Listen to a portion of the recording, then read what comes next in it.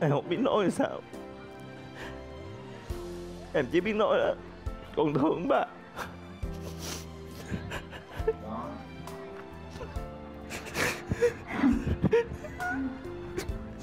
Hãy giữ sức khỏe nha bà.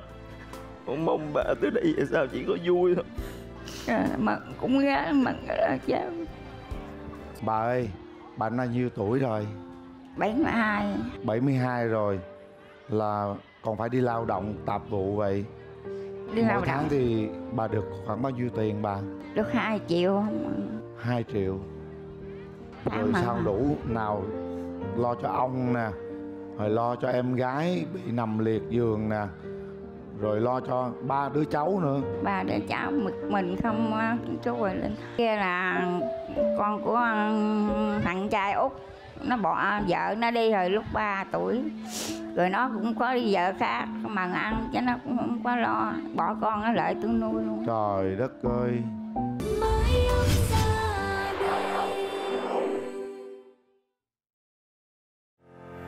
Tesla hân hạnh đồng hành cùng máy ấm gia đình Việt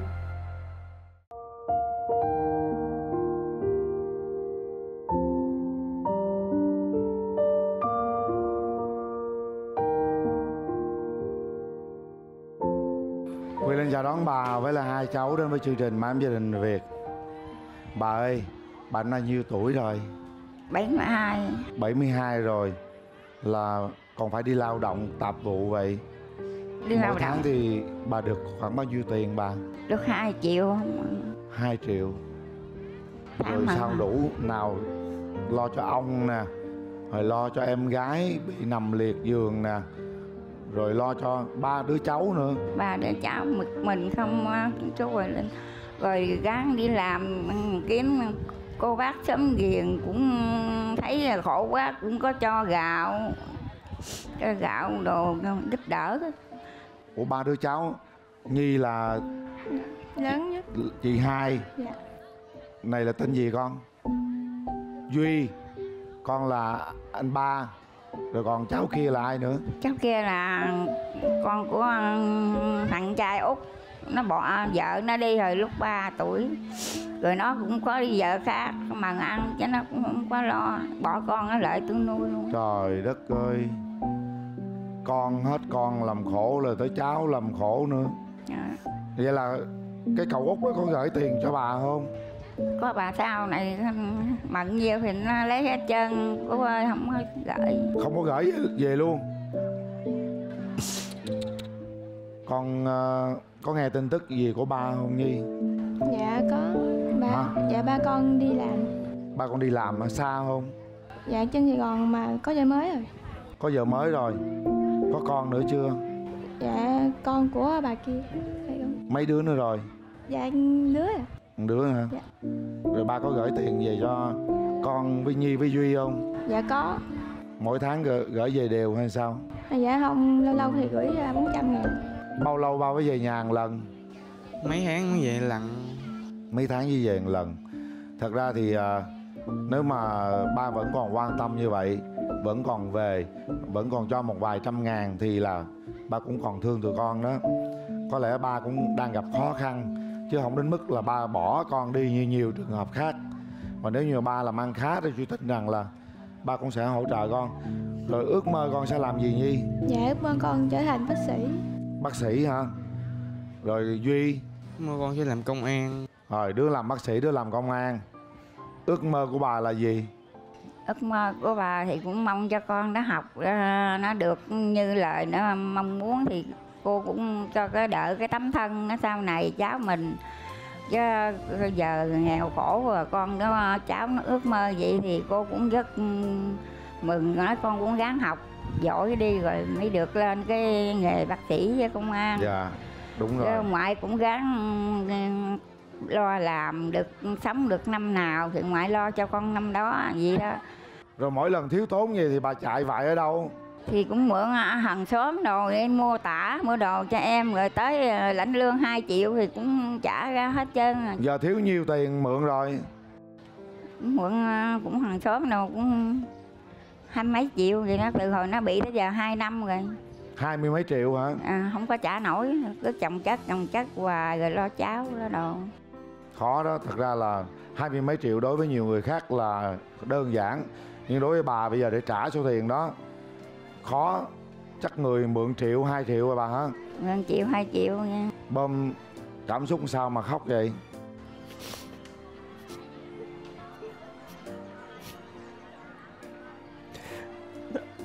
Em không biết nói sao. Em chỉ biết nói là Con thương bà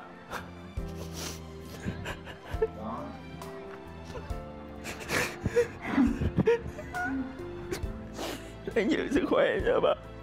Con mong bà tới đây về sao chỉ có vui thôi. À, mà cũng gái mà là cháu Thật ra thì Hải nghĩ rằng là Hải cũng như anh Bom thôi thì cũng sẽ có rất nhiều điều muốn nói. Nhưng mà Hải thấy có một cái hình ảnh rất là đẹp. Bà đây như vừa là người bà vừa là người mẹ. Và khi là bà là mẹ thì lúc nào cũng sẵn sàng Giang đôi tay của mình ra để che chở cho các con của mình và chị cũng chúc cho bé thực hiện được đúng cái lời mà em mong ước. Đó chính là Bà ơi con sẽ thay mẹ của con đúng không? Để chăm sóc cho bà. Để cho bà một cái cuộc sống thật là tốt hơn về sau này. Và chị hy vọng là em vẫn sẽ giữ được cái nghị lực và cái quyết tâm đấy Để mang lại một cuộc sống cho bà hạnh phúc hơn, vui vẻ hơn khi ở tuổi về già. Và nhân đây thì con cũng xin chúc bà thật là nhiều sức khỏe.